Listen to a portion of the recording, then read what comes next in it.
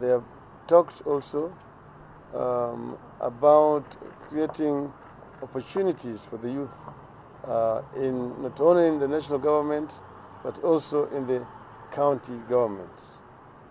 Then we they also talked about um, the governance structure of our country, uh, particularly the structure of the devolution, the structure of the executive, and the structure of the legislature in our country. And they've said that uh, they're ready to present their views to the Building Bridges Initiative when the right time comes.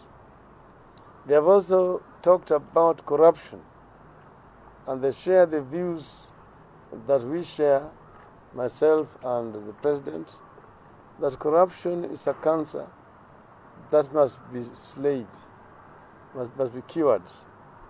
It's a monster that needs to be slayed.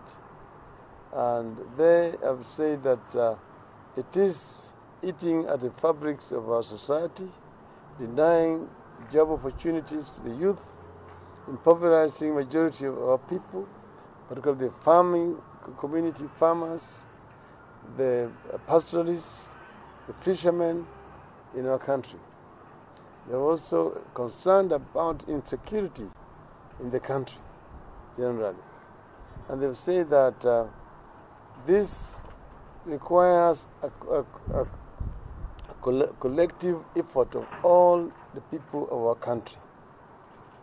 That uh, this corruption has seen the erosion of um, um, morals in our society. Every, almost every sector of the society is affected, whether it is in the security sector, whether it's in the civil service, whether it is in the judiciary, whether it is in the re religious institutions, the churches, uh, the mosques. They're all affected one way or the other, uh, and that this requires to be fixed, including also the electoral institution in the country. So we have had a wonderful conversation with this representative of the youth, and uh, I'm going to ask their representatives to now take it from here and speak on their own behalf. Um, yeah.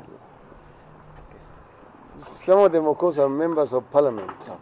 Uh, maybe you want to introduce Okay. to them, allow him to speak. Yeah.